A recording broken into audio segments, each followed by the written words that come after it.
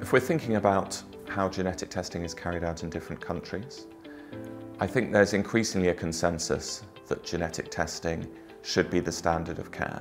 A few years ago, we might feel we had to justify doing genetic testing, only specific patients should be eligible. I think now it's really the other way around. If you're not going to do genetic testing in someone with cardiomyopathy, uh, there should be a reason for that.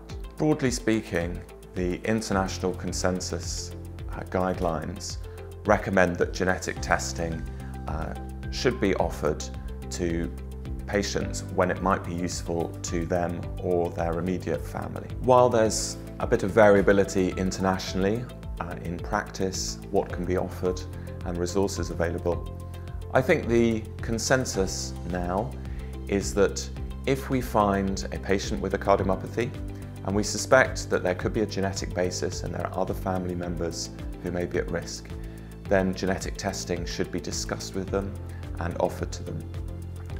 And that should be done uh, with genetic counselling.